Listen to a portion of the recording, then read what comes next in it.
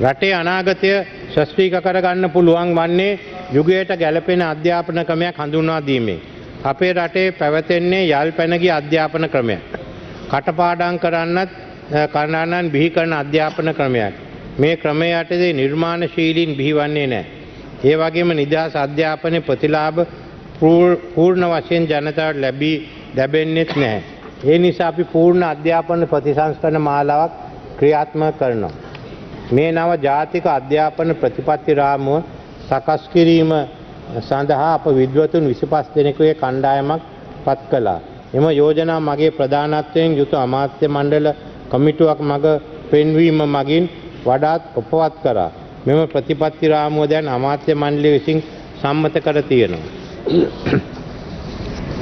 ඒ ප්‍රතිසංස්කරණ ඔස්සේ පිහිටවන ප්‍රධාන ආයතන කීපයක් පිළිබඳ අද මම මේ සභාවට දැනුම් දෙන්න කැමැතියි. අධ්‍යාපන පිළිබඳ ජාතික උසස් කවුන්සිලය ජාතික උසස් අධ්‍යාපන කොමිසම ජාතික නිපුණතා කොමිස මේ අධ්‍යාපන ප්‍රතිසංස්කරණ පිළිබඳ සවිස්තර තොරතුරු අධ්‍යාපන ඇමතුමා විසින් ඉදිරි සති දෙක තුළ මේ සභාවට ගෙනහැර දක්වාවී. මෑතකදී අජනා රණගල මුහුණු පොතේ ලියා තිබූ මේ සටන මගේ අවධානට ලක් වුණා. දේශීය විශ්වවිද්‍යාලයකට යෑමේ අභිප්‍රායෙන් දේශීය විෂය ධාරාවෙන් උසස් පෙළ කිරීමට තෝරා ගැනීම වෙනුවෙන් මගේ දරුවා දින සති මාස මතු නොවන අවුරුදු වලින් වන්දි ගෙවමින් සිටි. ජාත්‍යන්තර විෂය ධාරාව හැදෑරු ඔහුගේ මිතුරෝ උසස් අධ්‍යාපනය සඳහා විදේශගත වෙති.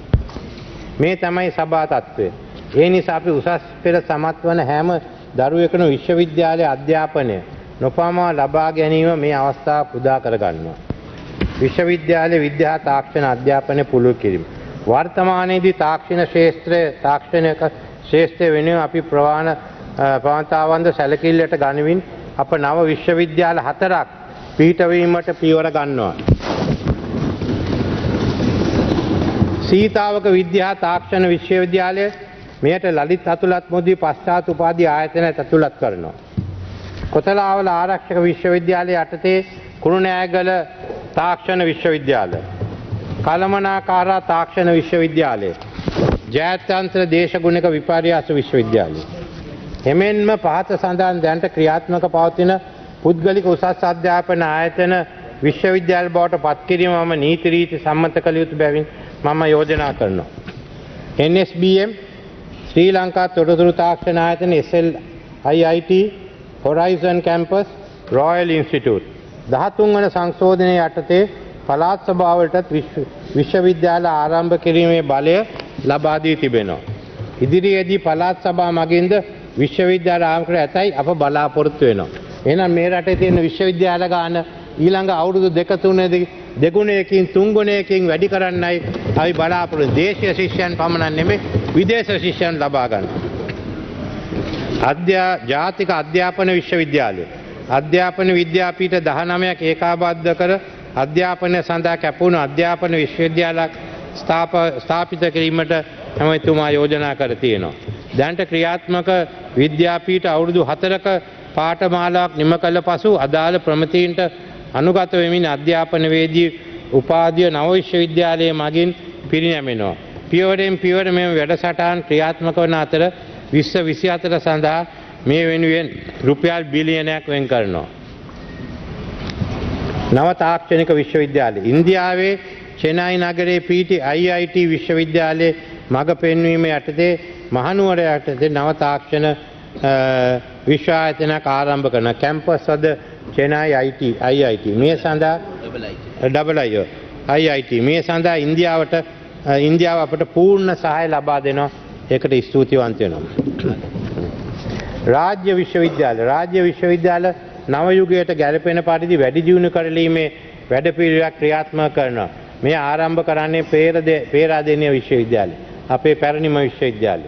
20 42 වර්ෂයේ දෙන පේරාදෙණිය විශ්වවිද්‍යාලයේ ශත සංවර්ධය ඉලක්ක කරගනිමින් සිදු කරන මේ වැඩපිළිවෙලේ ආරම්භික සංවර්ධන කටයුතුවෙන් ලබන වර්ෂය සඳහා රුපියල් මිලියන 500ක් වෙන් කරනවා. ශ්‍රී ජයවර්ධනපුර විශ්වවිද්‍යාලයේ අසාත්මිකතා සහ ප්‍රතිශක්ති විද්‍යාංශය ජාතික අසාත්මිකතා හා ප්‍රතිශක්ති විද්‍යා ආයතනය ලෙස උසස් කරනවා. ඒ සඳහා අවශ්‍ය වන විද්‍යාගාර හා අනෙකුත් පහසුකම් දියුණු කිරීමේ වැඩ සැලසුමට ඉදිරි වර්ෂය වෙනුවෙන් රුපියල් මිලියන 40ක් වෙන් කරනවා. ඉන්පසු අපේ අවධානය යොමු වෙන්නේ කොළඹ කැලණිය හා මොරටු විශ්වවිද්‍යාල වෙතටයි. ඒ සඳහා විධිමත් සැලසුම් සකස් කොට ඉදිරිපත් කරන ලෙස මම ඔවුන්ගෙන් ඉල්ලා සිටිනවා. රාජ්‍ය නොවන රාජ්‍ය නොවන විශ්වවිද්‍යාල නියාමනය සඳහා බලවත් නීති රීති මාලාවක් සම්මත කර ගැනීමෙන් පසු අප ලෝකයේ ඕනෑම පිළිගත් විශ්වවිද්‍යාලයකට උසස් අධ්‍යාපන ආයතනයක ලංකාවේ විශ්වවිද්‍යාල පීඨවීමට අවසර දෙනවා. උසස් පෙළ සමත් වෙන හැම දරුවෙකුටම විශ්වවිද්‍යාල අධ්‍යාපනය ලබා ගැනීම වගේම විදේශ දරුවන් මගින් විදේශ විනිමය උපයා ගැනීමටත් මේ මගින් අවකාශ උදා වෙනවා. මෙම රාජ්‍ය නොවන විශ්වවිද්‍යාලයේදී අධ්‍යාපනය ලබන දරුවන්ට ණය පහසුකම් ලබා දෙනවා. දැනට ක්‍රියාත්මක පොලි රහිත ශිෂ්‍යනා යෝජනා ක්‍රමයට අමතර වාණිජ බැංකු හරහා සහනදායි ශිෂ්‍යනා යෝජනා ක්‍රමයක් ක්‍රියාත්මක කිරීමට මම යෝජනා කරනවා. රැකියාවක් ලබා ගැනීමෙන් පසු ඒ ණය ආපසු ගෙවන්නට අවකාශ සැලසෙනවා. විශ්වවිද්‍යාල ප්‍රතිපාදාන කොමිසම සහ තෘතිය හා වෘත්තීය අධ්‍යාපන කොමිෂන් සභාව ඒකාබද්ධ කොට ජාතික උසස් අධ්‍යාපන කොමිසමක් ස්ථාපිත කරනවා. උසස් අධ්‍යාපන පුළුල්ලා ශක්තිමත් කිරීමට අවශ්‍ය තීන්දුව తీරන ගැනීම මෙන්ම නියාමන බලතද එම කොමිසමට ලබා දෙනවා. වත්මන් අභ්‍යෝගයන්ට අවශ්‍යතා ගැලපෙන පරිදි ජාතික නිපුණා කොමිෂන් සභාවක් පිහිටවනවා. ඒ අටතේ වෘත්තිය පුහුණු අධිකාරිය ජාතික ආධුනික හා කාර්මික පුහුණු කිරීමේ අධිකාරිය ආදී ආයතන ඒකාබද්ධ කරනවා. දැනට මධ්‍යම රජය යටතේ ක්‍රියාත්මක වන වෘත්ති අධ්‍යාපන ආයතන පළාත් සභා නවය වෙත පැවරීමට මං යෝජනා කරනවා. නිපුණතා සංවර්ධන ශේෂත්‍රය දියුණු කිරීමට හා නවීකරණය සඳහා පළාත් අධ්‍යාපන මණ්ඩල පිහිටවනවා. ඉදිරියේදී වෘත්ති අධ්‍යාපන කටයුතු නියාමනය කිරීම සඳහා මධ්‍යම රජයෙන් අවශ්‍ය මඟ පෙන්වීම පමණක් සපයන අතර අධ්‍යාපන පුහුණු කාර්යයන් සහ සේවා සියල්ල ක්‍රියාත්මක කරන්නේ පළාත් සභා මගින්. තාක්ෂණික වෘත්තීය කුසලතා වැඩි දියුණු කිරීම සඳහා අරමුදලක් පිහිටීමට අවශ්‍ය කටයුතු සම්පාදනය කරනවා. ඒ සඳහා දැනටමත් ආසියානු සංවර්ධන බැංකු සමග සාකච්ඡා ආරම්භ කර තිබෙනවා. මෙම ආයතන සඳහා දැනට වෙන් කර ඇති ප්‍රතිපාදන වලට අමතරව ඉදිරි වර්ෂයේදී රුපියල් මිලියන 450ක් වෙන් කර තියෙනවා.